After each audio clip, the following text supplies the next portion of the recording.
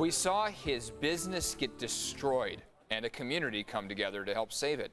And today at 10 a.m., Dan Buxton's Play It Again sports store in La Mesa will reopen the doors. And Dan joins us now. Dan, thanks for being here this morning. Sure appreciate it. Wow, what a road you've been on. I just I can't imagine what it was like to see your businesses your business just get destroyed. I mean, you were fighting for your livelihood here. My understanding is you even chased after some of the looters. Wow, what a busy couple of months it's been for you.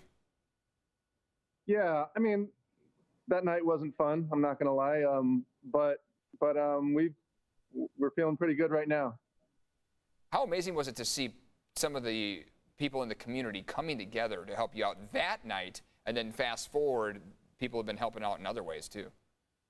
I mean, it's been it's been incredible the whole the whole seven plus weeks. It's just been amazing. Uh, the the support we we've been seeing, um, it's just unbelievable.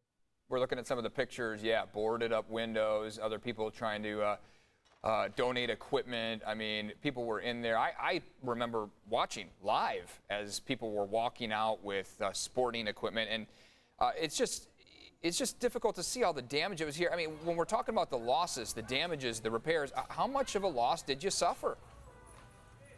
Well, the thing is, is that um, it was if it was just the looting, it wouldn't have been that big of a deal. But um, because there was fire, smoke got into everything, right. and then the sprinklers um, were on for a long, long time. So water damage was severe, the smoke damage was severe. Um, everything in the store was touched by the smoke, so it was it was significant. So thousands of dollars, tens of thousands, or like everything was a loss. Uh, hundreds. Wow. Probably hundred thousand in damage. Wow. Uh, but you've done a lot of the repair work yourself, like a true small business owner, right? I mean, you've you've been uh, putting a lot of sweat and blood and tears into this too, right? Well, yeah, but I, I mean, I've had a lot of help from volunteers, yeah. um, people who have donated time, professionals who have donated and donated their time. It's been a lot of help, but yes, I've been doing a lot of stuff myself as well. All right, let's see the reveal here. Show us around the store, would you mind? Just give us a little sure. tour because we saw the inside uh, or some of the exteriors when uh, everything was going on. And uh, look at this store. Look at how they have rebounded. This looks incredible. So, yeah, we were in the back of the store. I'm going to take you up to the what's going to be the main attraction probably today. That's going to be the uh, the weights and, oh, and sure. fitness, dumbbells, all that. Yeah, the workout at home thing, that craze is definitely happening with yeah, gyms that's big. Um, we got a lot of bikes in stock. You can see them hanging up up here. Wow, it um, looks great, Dan. You know, um, water sports things. I know that's big right now. Yeah, for sure. Uh, you know, the weight benches, that type of stuff. And let me just tell you, as you're, as you're walking us through the store here, I just wanted to mention a personal note. I, I, have three kids, and we play a lot of sports, and they grow out of things so quickly, and they change sports, and they like this, they don't like that. This is why Play It Again Sports is so important to my family and other families, is because you can go here and you can get equipment reasonably priced, Dan. Exactly. And then on top of that, we, we want to buy your equipment too. That's how we, that's our business is paying people cash for their equipment. A lot of people have been donating stuff, and we're extremely grateful. Um, but what we want to be doing is paying people cash for their equipment.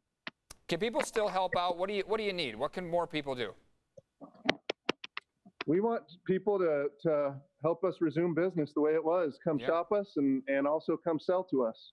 Yeah, I mean, um, that's instead of a boogie and, board, and we just want to get it back to how it was. Sure. Instead of a boogie board at Costco, you guys got perfectly good boogie boards there or at any other business, but but coming in and helping out a small business who has just rebounded so much like you have, Dan, um, that really goes a long way, right? Absolutely, and we we so appreciate everything that um, everyone's already done for us, and yeah. um, and we're looking forward to um, serving the community like uh, like we have in the past. Dan, you are a true small business success story. Your perseverance is just so admirable. Thanks for showing us around the store. It looks great, by the way. I can't wait to stop in. Appreciate it. Thank you. All right, when are you open? 10 a.m.? 10 a.m. Okay, an hour and 42 minutes. Stop in there, get all your sporting goods needs. Dan, we really appreciate it, and we're proud of you. Thanks. Appreciate it. Thanks. All right, let's send it back over to Heather now. Incredible how they've rebounded.